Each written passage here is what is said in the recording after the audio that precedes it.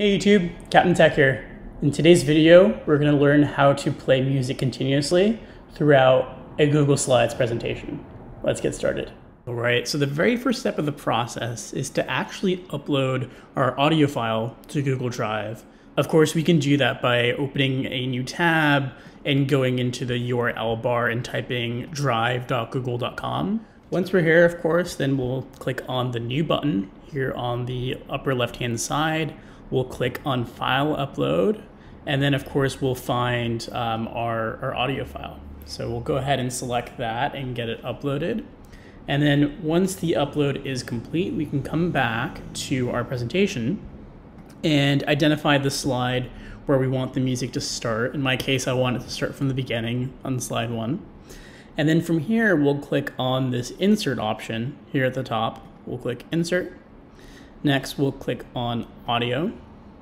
And there is the music file we just uploaded a moment ago. So we'll click on it and then we'll hit select.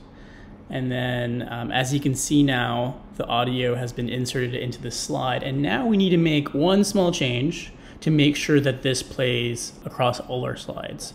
So if we look towards the right hand side, um, of the section here, there's this option that's currently checked that says stop on slide change.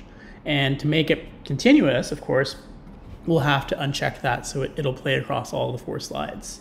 One other thing, by default, this is currently set up to play only once we click on this music portion. We can change it so that the music will start automatically once we get to this particular slide by using this automatically option.